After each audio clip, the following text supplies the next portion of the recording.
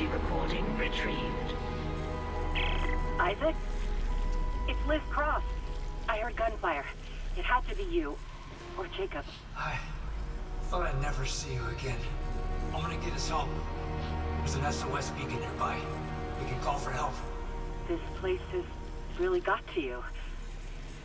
Isaac, I have Jacob's codes. I can get you into the workshop. Come on.